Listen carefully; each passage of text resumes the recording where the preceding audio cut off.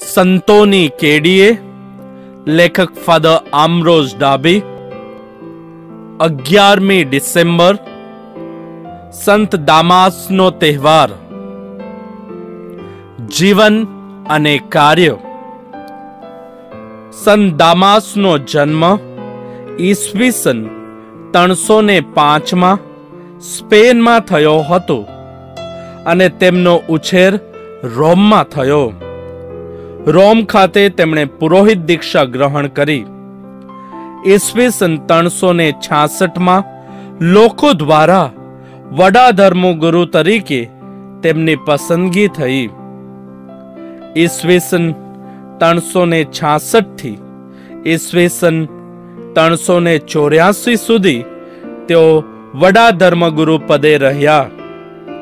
તેમનો સમયકાળ ઘણો કપરો હતો.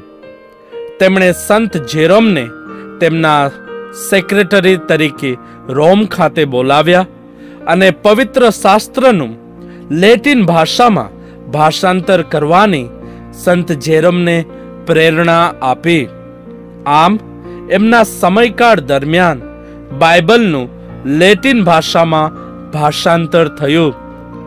તેમને શહીદો પ્રત્યે વિશેષ આદર ભાવ અને લાગણી હતા. જેને લઈને તેમણે શહીદોના નામે ઘણા દેવાલયો બંધાવ્યા અને શહીદોની સમાધિઓને દુરસ્ત કરાવી અને શણગારી. તેઓ કહેતા કે શહીદો ધર્મસભાના હીરા વિરલાઓ છે. તેથી આપણે તેમને પ્રેમથી માન આપવું જોઈએ. શહીદોએ સાબિત કરી બતાવ્યું છે કે ઈશ્વરની શક્તિશાળી કૃપા આપણા જીવનમાં કેટલી કાર્યરત છે. શહીદ શ્રદ્ધાળુઓ માટે ઉત્તમ આદર્શ છે. ચિંતન કણિકા.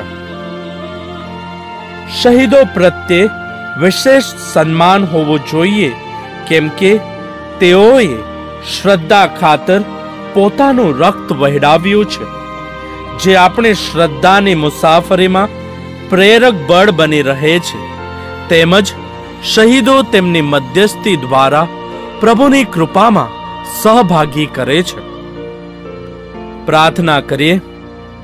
હે પ્રભુ, તમારા શહીદો પ્રત્યે સંત દામાસ અનન્ય ભક્તિ ને વિશેષ સન્માન દાખવતા હતા. અમારી પ્રાર્થના સાંભળો.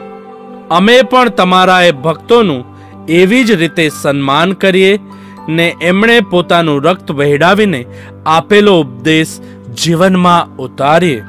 પ્રસ્તુત કરતા Amritdhara Don Bosco animation centre Kapadvanj